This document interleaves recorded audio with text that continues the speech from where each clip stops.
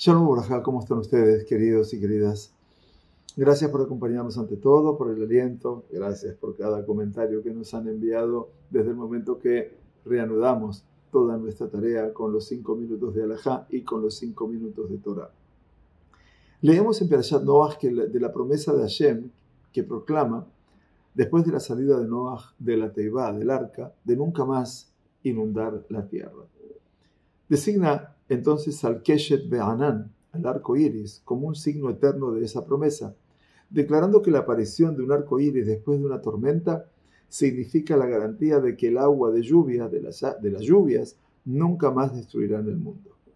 Al explicar la función precisa de esta señal, Rabbi David Kimhi, un eximio comentarista de la Torá, Radak y de los Nevi'im, por supuesto, comenta: Cuando la gente lo vea, se refiere al arco iris, recordarán que es una señal del pacto que el Todopoderoso estableció para ellos y no temerán el diluvio.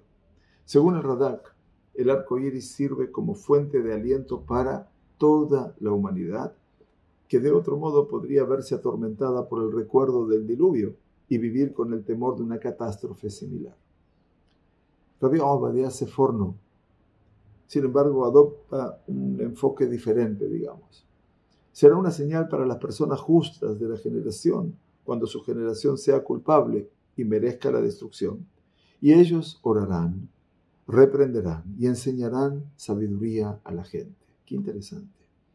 Según Seforno, el arco iris no funciona como una fuente de aliento, sino como una advertencia. Su aparición señala a los Sadique Ador, a los líderes espirituales de la época, que la generación merece la destrucción como en la época de Noah, pero que el Todopoderoso, fiel a su promesa, ha detenido las aguas del diluvio. Los líderes justos entonces responderán incrementando sus esfuerzos para guiar e instruir a la gente y así evitar el desastre.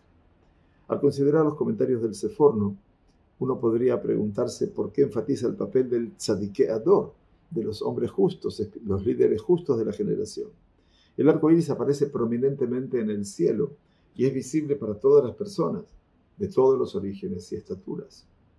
De hecho, el Radak, al presentar su explicación del arco iris, habla de él como un recordatorio para Bene Adam, para la gente en general, y no para ningún grupo específico de personas en particular.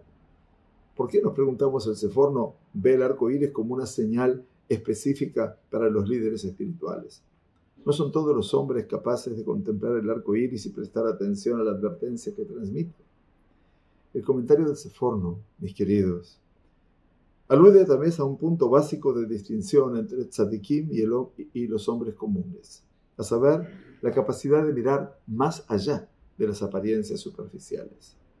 De hecho, toda la humanidad puede ver fácilmente el arco iris, pero para la mayoría de las personas aparece como una vista serena, tranquila, maravillosa, que anuncia el final de una fuerte tormenta.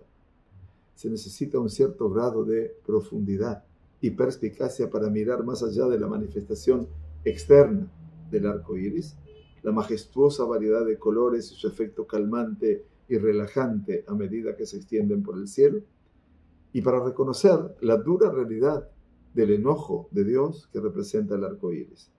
Mientras que en la superficie el arco iris trae una sensación, decíamos, de serenidad y de paz, en realidad, según ese forno, transmite una dura advertencia y presagia una posible calamidad. Este contraste entre la apariencia externa y la esencia real caracteriza, al menos en cierta medida, la diferencia entre la piedad y la vanidad.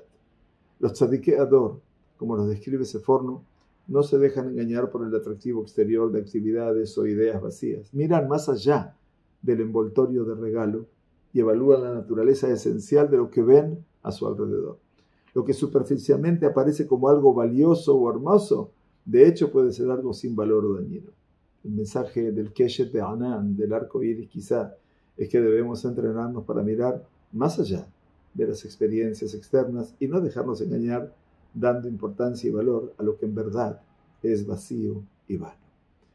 Una interesante apreciación del Rabbi Obadiah Sefor. Shavuot Tov Umevorach.